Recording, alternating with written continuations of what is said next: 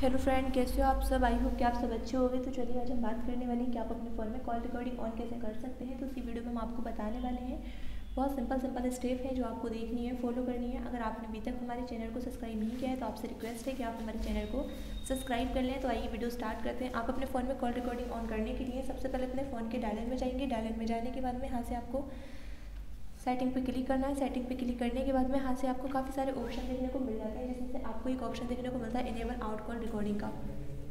आपको यहाँ से इस पर क्लिक करना है। क्लिक करने के बाद में यहाँ से आपको, आपके फ़ोन में जितनी भी कॉल रिकॉर्डिंग होती है, वो आपकी यहाँ पे सारी ऑन हो जाती हैं। जितनी भी रिसीव कॉल होती हैं डायल की गई हो रहती हैं, सारे नंबर की यहाँ से आपके फ़ोन में कॉल रिकॉर्डिंग सेव्ड हो जाती है। तो आई होप कि आपको वीडियो अच्छी लगे। वीडियो अच्छी लगे तो वीडियो को लाइक करें शेयर करें। चैनल पर नए हो तो चैनल को सब्सक्राइब करें। मिलते हैं अगली नेक्स्ट इंटरेस्टिंग वीडियो के साथ। तब तक के लिए बाय एंड टेक केयर